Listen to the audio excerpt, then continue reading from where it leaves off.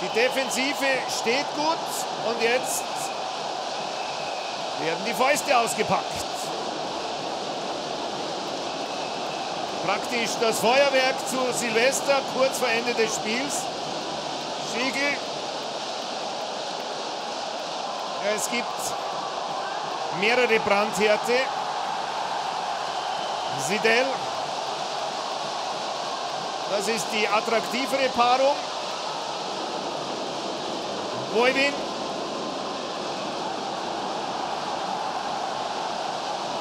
Punktevorsprung für Boivin. Gegen Hochkofler. Hochkofler noch ein etwas vielleicht unerfahrener mit seinen 22 aber bringt körperlich gute Voraussetzungen mit. 1,91 groß, 95 Kilogramm schwer. Aber er muss den Rotschopf erstmal unter sich bekommen.